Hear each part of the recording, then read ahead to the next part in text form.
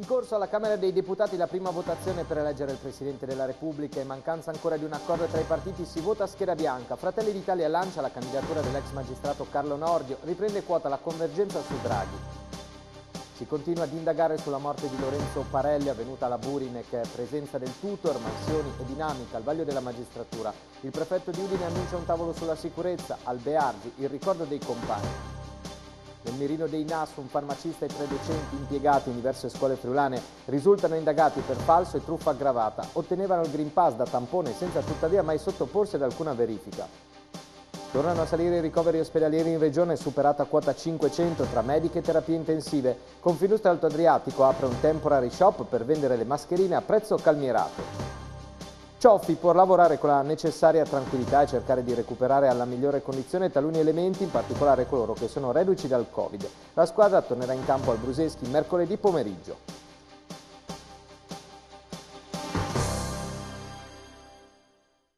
Buona serata e ben ritrovati in diretta con l'informazione di Udinese TV. In primo piano c'è il percorso verso l'elezione del nuovo Presidente della Repubblica Italiana. È in corso la chiama alla Camera dei Deputati per questa prima giornata di eh, votazioni. Eh, L'esito di eh, questa prima chiamata dovrebbe arrivare verso le ore 21. Tra poco potrebbe incominciare lo spoglio con i presidenti del Senato Casellati e della Camera Fico che leggeranno una a una le schede depositate nelle varie insalatiere dalle 3 di eh, questo pomeriggio dai vari deputati, senatori e grandi elettori dei consigli eh, regionali. Una giornata convulsa con ancora eh, l'esito della giornata odierna che si preannuncia scontato, eh, la maggioranza di schede bianche in attesa si riesca a trovare una quadra tra i partiti per il nome. Eh, ritorna, mm, ritorna grande convergenza su quello di eh, Draghi, eh, oggi è uscita anche una proposta da parte di Fratelli d'Italia, quella di Carlo Nordio, ex magistrato, tra l'altro uno dei nostri opinionisti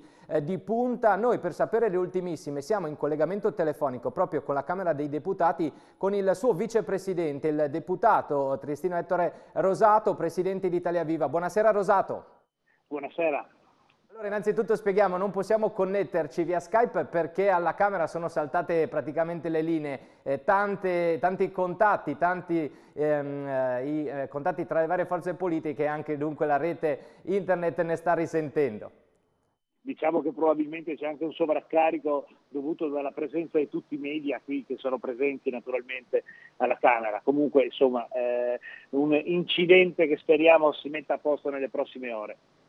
Oggi lei ha dichiarato non c'è un regista unico e questo rende più complicata questa fase, però io sono ottimista lo stesso perché sembra ci sia piena consapevolezza delle varie forze politiche. Ma quando e eh, come uscirà questo nome che potrebbe mettere d'accordo tutti, Rosato?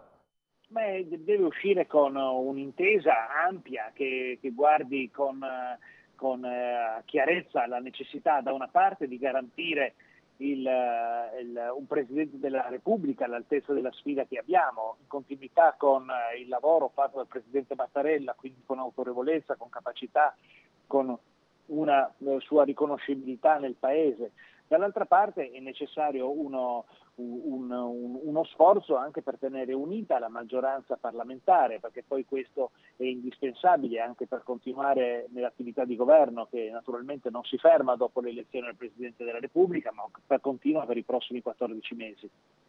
Oggi c'è stato nel pomeriggio anche un nuovo incontro tra eh, il leader della Lega Salvini e il leader del PD Letta, due dei partiti di riferimento. Si è riusciti a capire eh, quale potrebbe essere l'intesa? Ma intanto è positivo che finalmente ci si parli tutti, è bene che Salvini e Letta si parlino, abbiamo dall'inizio detto la necessità che centro-sinistra e centro-destra non mettano veti ma trovino modalità di incontrarsi. E poi qual è, sarà il punto di sintesi? Naturalmente è, il, è contenuto all'interno delle schede, non quelle che saranno scrutinate stasera, ma quelle che verranno scrutinate giovedì o venerdì. Eh, siamo ancora lontani a giovedì o venerdì e questo indica che siamo ancora lontani alla soluzione, ma io sono ottimista che nelle prossime ore si possa fare un lavoro eh, serio in questa direzione. Ecco, i rumors che arrivano dalla capitale parlano di, insomma, eh, di eh, convergenze nuovamente sul nome di Mario Draghi che così lascerebbe libera la casella alla presidenza del Consiglio dei Ministri, in questo caso è spuntato il nome della Belloni. Potrebbe essere una delle soluzioni raggiungibili? Ma io, io, io, penso che in questo momento la fantapolitica, nel senso non che siano ipotesi fantascientifiche queste, ma che sia un po' come il fantacalcio, eh, eh, può costruire qualsiasi cosa e ogni ipotesi diventa, eh, diventa, credibile. Io penso che siamo ancora lontani da una definizione di questo e quindi non mi, non, non mi avventurerei in eh, così, un'ipotesi di questo tipo. Certo, se il Presidente Draghi va a fare il Presidente della Repubblica perché i partiti decideranno di eleggere lui, eh, sarà bisogno nello stesso tempo, anzi un secondo prima, definire anche cosa succede sul governo, perché una fase di questo tipo non può certo consentire una vacanza sul, sul, sul, sul Palazzo Chigi con le difficoltà che a Palazzo Chigi ci sono. Grazie, grazie davvero a Ettore Rosato, Presidente Italia Viva, Vicepresidente della Camera, la lasciamo ai suoi impegni. Grazie a voi. Noi rimaniamo in argomento per ascoltare anche la voce di uno dei partiti eh, che ha lanciato proprio oggi un nuovo nome di un possibile candidato all'interno della coalizione di centrodestra, ovvero Fratelli d'Italia, con la sua leader Giorgia Meloni che ha appunto avanzato il nome di Carlo Nordio. Ne abbiamo parlato con un altro deputato friulano, Walter Rizzetto, del partito della Meloni. La Presidente Giorgia Meloni ha dato delle indicazioni, ha cercato di riflettere assieme a noi Uh, sono susseguiti anche insomma, degli interventi da parte di eh, senatori, deputati, grandi elettori rispetto a quello che succederà nei prossimi giorni. È molto probabile, anzi sicuramente oggi avremo una valanga di schede bianche, questo significa che non si è ancora raggiunto, non si è raggiunto né un accordo né un mezzo accordo su un nome uh, in modo forte uh, rispetto al prossimo inquilino del, del Colle Uh, Fratelli d'Italia ha fatto e sta facendo le sue, le sue proposte, tra cui uh, il magistrato Carlo, Carlo Nordio, una, un, insomma, un, personaggio di illustre fama. E, diciamo che la cosa abbastanza, per come la vedo io, abbastanza strana che è successa e che si è celebrata purtroppo nelle ultime ore è evidentemente, ciao, evidentemente quando il segretario del Partito Democratico Letta ha affermato attraverso un'agenzia qualche ora fa che tutti i nomi del centrodestra insomma, faranno la fine. eh, anche in modo, voglio dire, abbastanza stilisticamente poco corretto. Sappiamo che in queste ore naturalmente i nomi si rincorrono, molti vengono fatti anche per essere, tra virgolette, bruciati. Eh, quello che sullo sfondo però ritorna eh, preponderante è il nome di Mario Draghi al Quirinale, con un'ipotesi poi di Belloni, Presidente del eh, Consiglio dei eh, Ministri. Eh, per quanto vi riguarda, dunque, nessuna preclusione su Draghi, l'ha detto poco fa anche il suo collega Ciriani, capogruppo in Senato. Sì, beh, oddio, ehm, in questo momento serve però capire quali sono i nomi del centrodestra, nel senso che eh, Mario Draghi è sicuramente un nome altisonante, un'eccellenza, una, un, un'eccellente riserva, riserva, della politica, che oramai riserva non lo è più, però per adesso io eh, le rinnovo, mi concentrerei sui nomi che il centrodestra da qui, quantomeno alla terza votazione, farà senza scivolare necessariamente in altri, in altri nomi. Naturalmente continueremo a seguire anche nel corso delle prossime edizioni il TG Notte con uh, tutto il quadro di giornata e l'esito di questa prima votazione. Ora invece rientriamo in Friuli Venezia Giulia con la cronaca in primo piano e gli aggiornamenti eh, di giornata rispetto alla tragica morte del eh, giovane Lorenzo Parelli avvenuta venerdì nello stabilimento della Burimec di Lauzacco. Siamo in collegamento con Valentina Bearzi dall'esterno della Procura dove continua il lavoro eh, degli inquirenti. Buonasera Valentina, te la linea.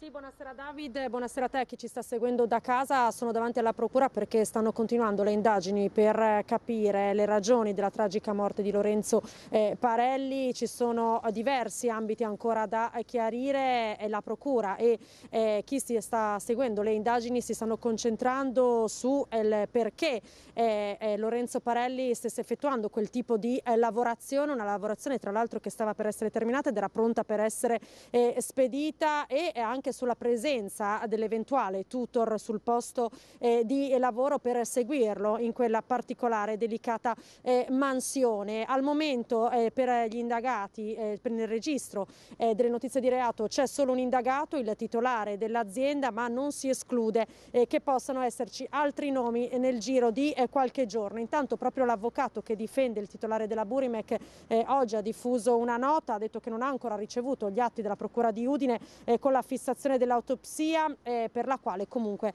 nominerà anche, nomineranno un perito dedicato alla posizione del mio assistito, ha detto Stefano Buonocore, eh, l'avvocato, resta tuttavia la stessa, riservo il silenzio nel rispetto del dolore eh, dei eh, familiari. il ragazzo appunto aveva appena eh, ultimato la lavorazione, si doveva solo procedere con la spedizione, eh, bisogna capire che cosa ha provocato l'improvvisa eh, caduta della putrella di acciaio che ha colpito e ucciso il diciottenne di Castions di strada. E proprio sul tema della sicurezza sia sui luoghi di lavoro ma eh, anche in questi percorsi di alternanza eh, eh, lavoro-scuola si è espresso il prefetto Massimo Marchesiello che oggi a margine della presentazione eh, degli eventi dedicati alla giornata sulla memoria ha detto che convocherà presto proprio un tavolo in questo eh, senso per eh, capire con i sindacati, le scuole e le imprese che cosa si può fare per migliorare eh, la eh, situazione, anche se ha voluto sottolineare la sicurezza per quel che riguarda la nostra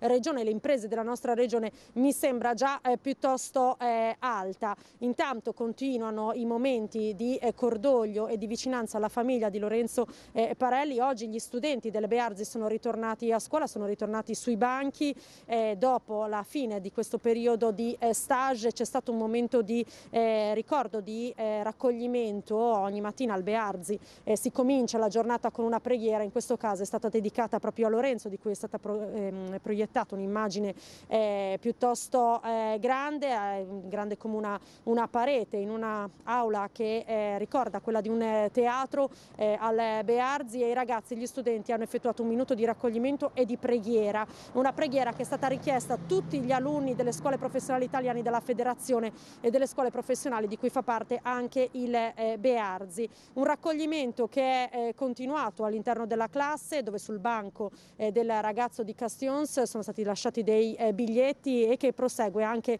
nella frazione di Morsano con un grande cuore listato a lutto per testimoniare anche la vicinanza alla famiglia di Lorenzo Parelli. Si è intanto scatenato un dibattito a livello locale ma anche nazionale sull'opportunità di questa alternanza scuola-lavoro. Alcuni hanno chiesto comunque che ci siano maggiori misure misure di sicurezza e quindi degli accorgimenti, altri hanno voluto comunque sottolineare, come la Presidente di Confindustria Udine Mareschi Danieli, l'importanza di questo tipo di eh, progetti che rappresentano un'eccellenza per le scuole e le imprese anche della nostra regione. Ha voluto sottolineare anche come siano solo il 6% circa, fra i 5 e il 6% gli incidenti sul luogo di lavoro che eh, afferiscono alle industrie, all'area industriale, questo nel 2021, proprio a sottolineare come eh, ci sia sempre più bisogno comunque di personale specializzato eh, che si occupi di questo tipo di lavorazioni personale sempre più difficile da eh, trovare. Sulla stessa linea anche il consigliere comunale Giovanni Govetto che ha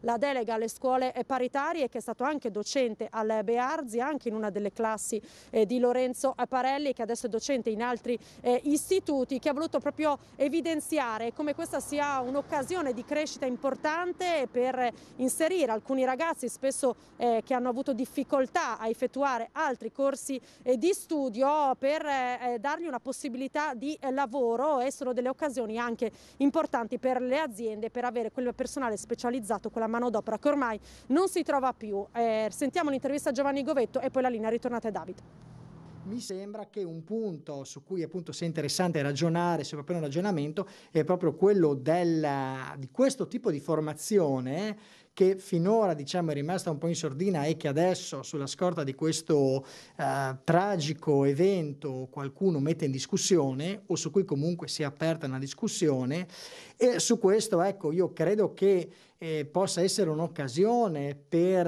rivendicare come è stato fatto da alcuni, la ricchezza e l'importanza di questo tipo di formazione, che è una formazione che coinvolge un certo tipo di ragazzi spesso, eh, come dire, anche eh, che non riescono ad essere attratti dai normali corsi di studio, dai normali corsi scolastici e che hanno la possibilità di seguire dei percorsi di studio che appunto accanto alle lezioni in aula permettono anche di svolgere le, ehm, come dire, esperienze nelle aziende.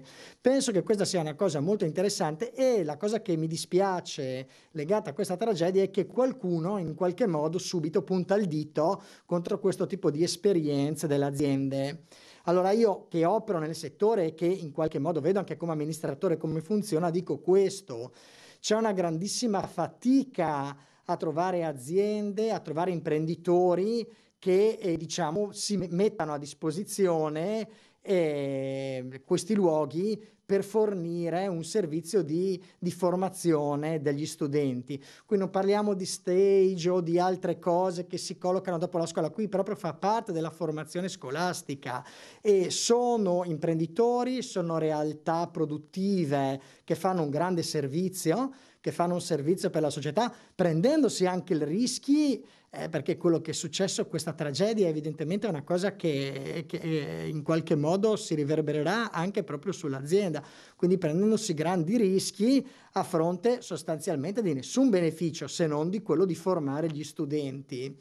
Allora io penso che, come dire, giustamente si dovranno vedere le responsabilità, giustamente sicuramente anche il sistema duale è un sistema che in qualche modo va eh, deve essere, come dire, migliorato e secondo me anche potenziato, però attenzione a non strumentalizzare, come ho letto da alcuni, queste situazioni, eh, come dire, per andare nella direzione contraria. Cioè qui questa deve essere l'occasione per migliorare un sistema che è riconosciuto come un sistema che funziona e come dire per mettere a tema eh, il fatto che per i ragazzi l'esperienza lavorativa in certi casi è importante, è fondamentale, deve essere tutelata. È importante fondamentale però non che avvenga a 25-30 anni, perché questi, ripeto, sono giovani che, eh, come dire, i normali percorsi scolastici non riescono a come dire, ad assorbire. Sono spesso giovani che arrivano anche da, da fallimenti in altri percorsi scolastici, diciamo, più tradizionali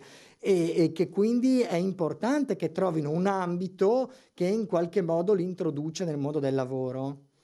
Continuiamo con la cronaca, falso in certificazioni e truffa ai danni dello Stato, di questo devono rispondere un farmacista e tre docenti della provincia di Udine, indagini dei NAS che hanno permesso di scoprire che gli insegnanti avevano ottenuto un Green Pass senza mai aver effettuato il tampone, il servizio di Francesca Santoro hanno tenuto il Green Pass base senza mai aver eseguito il tampone. Nell'ambito delle verifiche sulla regolarità di esecuzione dei test, tre insegnanti operativi in diverse scuole della provincia di Udine e un farmacista di un paese della Carnia sono stati indagati per falso in certificazioni e truffa ai danni dello Stato. Al termine di una prima fase delle indagini, coordinate dalla Procura della Repubblica di Udine, i NAS hanno dato esecuzione stamattina cinque decreti di perquisizione nei confronti dei quattro. Le perquisizioni hanno riguardato l'attività l'abitazione del farmacista e le case dei tre insegnanti, una delle quali a Padova. L'indagine, che ha preso il via novembre scorso, ha consentito di appurare che gli insegnanti, con la complicità del farmacista, ottenevano appunto Green Pass necessario a lavorare prima dell'introduzione dell'obbligo vaccinale per il personale della scuola tramite tamponi in realtà mai effettuati. Le indagini proseguono anche su altri filoni relativi invece alla pratica di confezionare falsi risultati negativi su richiesta. Non è escluso quindi che vengano alla luce altri casi di persone che si sono avvalse di false certificazioni. Tornano a salire i ricoveri in Friuli Venezia Giulia, Giulia sul fronte del contagio, 37 eh, quelli nelle terapie intensive e eh, nuovi aumenti anche per le aree mediche. Abbiamo superato complessivamente quota 500. In Friuli Venezia Giulia oggi si tocca il record dei pazienti ricoverati nelle mediche in questa quarta ondata. È questo il dato che spicca dai numeri delle ultime 24 ore. Sono 2119 i contagi registrati, 9 i decessi.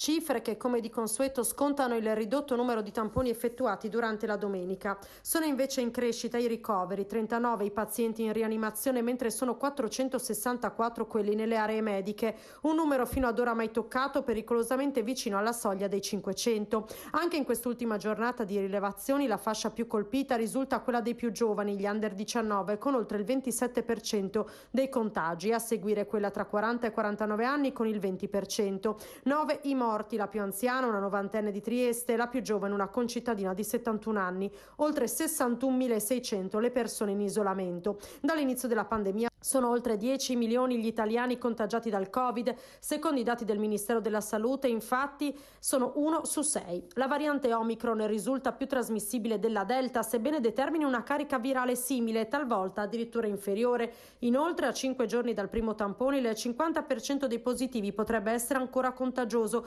rendendo di fatto pericoloso l'isolamento breve adottato da paesi come gli Stati Uniti. Lo indica uno studio condotto dalla Harvard di Boston sui tamponi molecolari eseguiti agli agli atleti dell'NBA. Anche un secondo studio dell'Università di Ginevra evidenzia come non ci siano sostanziali differenze di carica virale tra i vaccinati infettati da Delta e quelli colpiti da Omicron. Oggi il Friuli Venezia Giulia è tornato in zona arancio, per i vaccinati cambia pochissimo se non nulla, mentre la prefettura di Udine ha fatto sapere che verranno intensificati i controlli per i non vaccinati. Ne abbiamo parlato con il prefetto Massimo Marchesiello che annuncia anche una nuova stretta proprio sulle farmacie. Da oggi Friuli Venezia Giulia in zona arancione, le restrizioni riguardano soprattutto i non vaccinati. Avete previsto dei controlli particolari? Beh, verranno sicuramente intensificate, già abbiamo attivato anche l'altra settimana con le forze di polizia mirati interventi e, e controlli soprattutto nelle farmacie, perché anche lì si è evidenziata una criticità molto particolare. Per quanto riguarda la, il divieto non ai non vaccinati di muoversi da un comune all'altro, anche questo aspetto sarà monitorato? Sarà monitorato sicuramente perché sì, siamo in un momento, ripeto, di particolare riflessione su quello che sta succedendo, quindi l'attenzione deve essere tanta, soprattutto in questo momento, dove forse riusciamo a scavallare con, con diciamo, conseguenze meno importanti, però l'attenzione ci deve essere fortissima. Temete ci siano ulteriori episodi di proteste come stanno avvenendo in altre piazze italiane? Al momento non sono segnalati, abbiamo avuto cose molto sporadiche su cui diciamo, l'attenzione e in particolare eh, la sorveglianza e la vigilanza è stata forte, ma non abbiamo avuto particolari criticità anche in questo fine settimana. Tornando ai numeri, vi mostriamo anche le tabelle aggiornate rispetto alle varie soglie tra zona arancia e zona eh, rossa secondo i criteri eh, governativi come potete eh, vedere il limite eh, della zona rossa fissato a 510 per le aree mediche è ancora lontano eh, con i numeri di oggi siamo saliti a, 600, a 464 sul fronte delle terapie intensive il limite della zona rossa è 52 siamo a 39 quindi numeri che rimangono al momento da zona arancio. I dati a livello nazionale invece andiamo a vedere con il grafico aggiornato del Ministero eh, sono stati 77.696 nuovi contagi di giornata, 352 le vittime, numero ancora molto alto. Scendono invece di 25.000 unità gli attualmente positivi nel nostro paese, sono 2.709.000. C'è il tema poi delle mascherine con una novità lanciata oggi da Pordenone, è stato aperto un temporary shop da parte della Confindustria Alto Adriatico dove sono in vendita appunto le mascherine a prezzo calmirato. È stato inaugurato oggi a Pordenone il nuovo punto vendita di mascherine di Confindustria Alto Adriatico. Questa apertura porta nel centro storico uno spazio con prezzi di fabbrica, dove sarà possibile acquistare mascherine FFP2 al costo calmierato di 40 centesimi. L'iniziativa degli industriali è un nuovo tassello dopo le campagne di tamponi e vaccinazioni nelle aziende e l'apertura del nuovo hub vaccinale nei locali della Seleco a Valle Noncello un nuovo risultato che è dentro una pianificazione di interventi fatti a sostegno della sanità pubblica. E devo dire che sono molto soddisfatto perché in questa maniera noi alleviamo anche il peso economico del dover avere dispositivi come l'FFP2 e quindi saranno venduti a prezzi, a prezzi che sono la metà di quelli indicati dal generale figliuolo per la vendita al pubblico. Qui si sono trovati uomini capaci di lavorare insieme pensando solo al bene pubblico e quindi questa è stata la ragione di questo straordinario successo di tutte queste operazioni.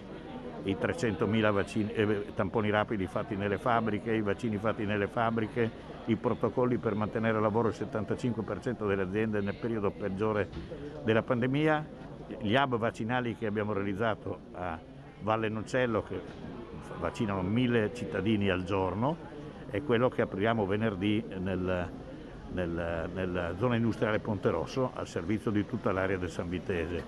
Quindi credo è, una, è, una, è un servizio grande che abbiamo reso alla comunità e di questo siamo legittimamente orgogliosi. Un flash sul mondo delle banche, la Cassa di risparmio di Bolzano, la Sparkasse e Civibank hanno reso noto che il presidente della Sparkasse Brandstatter e l'amministratore delegato Nicola Calabrò sono intervenuti all'odierna assemblea del Consiglio di amministrazione di Civibank. L'incontro ha reso possibile l'avvio di un confronto sui contenuti dell'operazione annunciata da Sparkasse lo, lo scorso 9 dicembre 2021.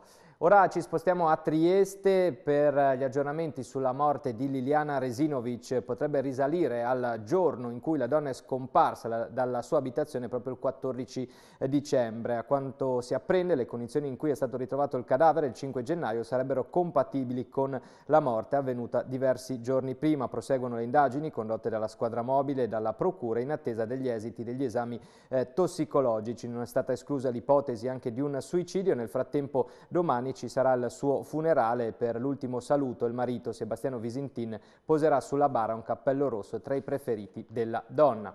Esplosione invece nella notte in una roulotte Ariana del Royale in un'area abitata da famiglie rom, due persone che stavano maneggiando con delle bombole collegate al gas sono rimaste ustionate.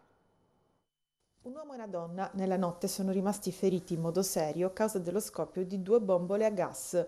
L'incidente è avvenuto intorno a mezzanotte in via Galvani, Areana del Royale, in una roulotte posizionata nel giardino di una casa accanto ad altre strutture abitative mobili in cui risiedono famiglie rom.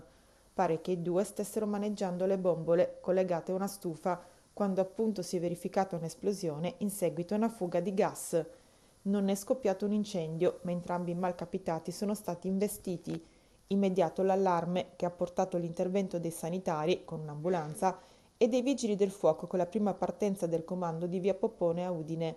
I due feriti, che non sarebbero in pericolo di vita, sono stati trasportati in gravi condizioni a Santa Maria della Misericordia, mentre i pompieri hanno messo in sicurezza l'area interessata dalla deflagrazione. A sei anni esatti dalla scomparsa di Giulio Regeni dal Cairo, domani a Fiumicello si rinnoverà la richiesta di verità e giustizia per il giovane ricercatore friulano nel corso dell'evento Pensieri, Parole e Musica per Giulio, promosso dai genitori Paola e Claudio Regeni dall'avvocato Alessandra eh, Ballerini. Previste la partecipazione tra gli altri di PIF, Luciana Littizzetto, Stefano Accorsi, Ascanio Celestini, Gianni Cuperlo e Vinicio Capossela. Tra l'altro stamattina il Presidente del Consiglio Draghi e il Ministro della Giustizia Cartagena Cartabia hanno incontrato proprio i genitori eh, di eh, Giulio Regeni. Ora apriamo la pagina sportiva per eh, parlare di Udinese. Dopo il pareggio di Genova arriva una sosta provvidenziale per la formazione bianconera che potrà recuperare energie e riordinare le idee dopo un mese di gennaio condizionato dal Covid e dalle difficoltà esterne. Stefano Giovanpietro.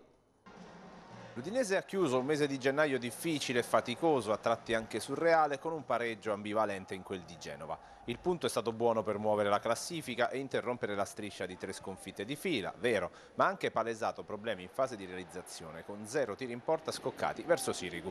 La condizione generale della squadra afflitta dal Covid in questo mese, tra rinvii, ricorse e allenamenti mai al completo, non è sembrata di certo delle migliori e per questo la sosta può davvero considerarsi una sorta di benedizione per una squadra che ha bisogno di ritrovare elementi importanti, energie, oltre a riordinare le idee. Le due settimane di soli allenamenti saranno manna dal cielo per Cioffi e il suo staff tecnico che potrà concentrarsi anche sull'integrazione dei due nuovi arrivati, vale a dire i difensori Pablo Marì e Filip Benkovic, dalle ottime potenzialità ma che necessitano di calarsi al meglio nella nuova realtà del campionato di Serie A. Lo stop per le nazionali priverà l'allenatore bianconero del solo Molina, partito per rispondere alla convocazione dell'Argentina e quindi sarà l'occasione perfetta per lavorare su alcuni concetti di gioco che, complici le fatiche di Coppa contro la Lazio, Lazio sono sembrati smarriti sul prato verde dello stadio Luigi Ferraris di Genova.